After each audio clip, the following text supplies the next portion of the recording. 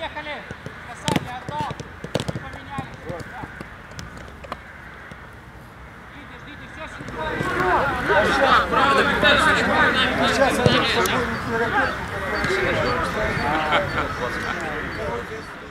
Муніципальний футбольний клуб Миколаїв завершив підготовку до весняної частини чемпіонату України серед команд першої ліги. Головний тренер команди Сергій Шищенко говорить, збори у Туреччині вийшли продуктивними та позитивно вплинули на ігрові кондиції футболістів. Не дуже хорошо у нас пройшли збори в Турции. Дуже добре в нас пройшли збори у Туреччині, і погода дозволяла, і ті умови, які були, були сприятливими для того, щоб відбувалися якісні тренування. І те, що ми замислили, ми все виконали. Нам не заважала ані непогода, яка заважала іншим командам, які були до нас. Там сильні дощі, зливи були в Туреччині. Тому там і матчі відкладалися, переносилися, і тренувальний процес збивався. У нас всього цього не було. У нас були дуже гарні умови для підготовки, і команда в хороших кондиціях. Сергій Шищенко каже, змінив підхід до тренувального процесу, аби досягти балансу між оборонними та атакувальними діями.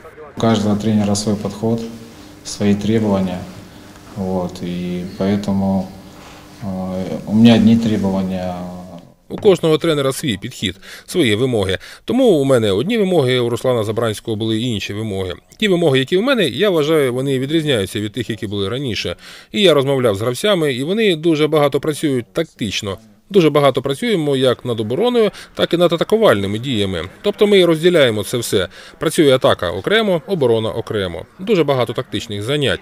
Потім все це об'єднуємо, і вже кожен гравець розуміє, що він робить на футбольному полі в тій чи іншій ситуації. Через реконструкцію центрального міського стадіону, кілька домашніх матчів другої частини чемпіонату, корабели прийматимуть суперників на полі у парку Перемога, газон якого штучний. Для гравців збільшується ризик отримання травм. Головний тренер Сергій Шищенко та голова наглядової ради клубу говорять, це дійсно проблема. Однак іншого виходу з ситуації не існує. я не, бачу там проблем каких-то, якийсь буде дискомфорт у нас. Я не бачу там проблем якихось, що буде якийсь дискомфорт у нас. Ну, Зрозуміло, що інший відскок, звісно, що зовсім по-іншому м'яч ходить і так далі.